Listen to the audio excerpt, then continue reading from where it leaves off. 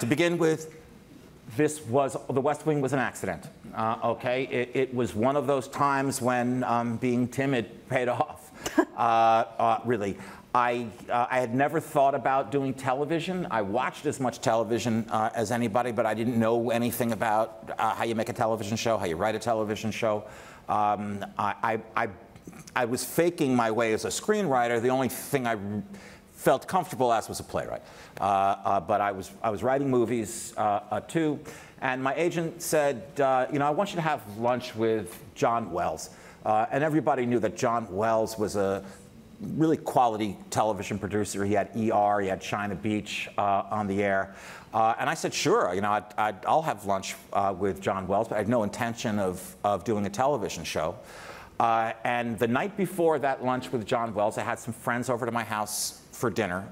One of those friends was a writer named Akiva Goldsman, who had not yet won the Academy Award for writing A Beautiful Mind. Uh, and I told him about the lunch I was having the next day. Uh, but, you know, it's just a lunch. I'm not going to be doing a television series. And during dinner, we snuck off down to my office down in the basement uh, to have a cigarette. Um, it's also a rare moment when smoking paid off. and he looked at the posters on my wall and he pointed to the poster for The American President, which is a romantic comedy I'd written in the 90s. And he said, You know what would make a good television series? That if forget about the romance between the president and the lobbyist, if you just kind of focused on the senior staff uh, at the White House, I said, Kiva, I'm, I'm not going to write a, a, a, television series. I don't know how. Uh, I'm just having lunch tomorrow. when I got to the lunch the next day, I walked in the restaurant. I could instantly see this is not what I thought it was going to be. It wasn't a, hey, how are you doing lunch? John had come with several executives from Warner Brothers, several agents from CAA. And I sat down, and John said, So, what do you want to do? And instead of saying, I think there's been a misunderstanding, I don't have anything to pitch, I said, I want to do a show about senior staffers at the White House. Writing happens in the strangest way, it, it, ways, or at least it does with me. Um, and sometimes it, it happens in the reverse order that it appears. For instance, with this episode, um, uh, when I'm blocked, which I am almost all the time, people ask me if I have writer's block. Writer's block is my default position. Sometimes, every once in a while, I have an idea um, uh, and I'm able to write. Uh, uh, so uh, uh, one of the things that I would do all the time with the West Wing, with everything, but particularly with the West Wing, I'd get in my car and I'd drive around and I'd listen to music. Um, uh, and kind of try to start an argument with myself. That, that, that's how it usually happens. In fact, uh, one day, the president of NBC had a messenger deliver a package to me at my office. It was a headset meant to be paired with my car phone. And there was a note with it that said, I was next to you at a red light earlier today. Please always wear this headset. You look insane. so I was driving around, and generally the music I'll listen to, uh, uh, my taste in music and my taste in food stopped maturing as soon as I graduated from high school. that was it. It's frozen there.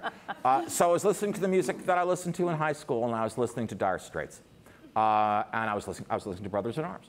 Um, and uh, I thought, boy, you would, I would love to write a scene that this song could be the score uh, for. You know, score is usually the last thing you do. You look at what you've done and, it, and you try to figure out what music should be there. Here, the music came uh, first. Um, and I would drive around listening to this music, and I saw that whole ending, Charlie waving off the coat, and uh, uh, and, and all of that, um, and uh, and I started writing the episode. I don't think we need better voters. We're just fine. We need better candidates. Oh, and no a, question a, and not a two-party system, more than a two-party system. That's okay. what I want to say. I'm 100% with you. And leave it to me to argue with something just so obviously true as what you just said. but I'll give it a go. I think better voters get us better uh-huh. candidates. Uh, okay? Um, uh, I think, listen, I think in a democracy, how can it not ultimately be the responsibility uh, of the voters? Um, and Uh, listen, we're right to point to all the people we're pointing at now in Washington saying, oh my God, uh, it was, uh, th- th- this is so un American, uh, uh, what's going on. Um, but when are we going, when are voters going to bear some responsibility uh, uh, for this? When are we going to have, you know, every four years, there's this incredible opportunity uh, because most people uh, don't have time to do much more than get through their day, um, uh, uh, put food on the table, take care of their kids.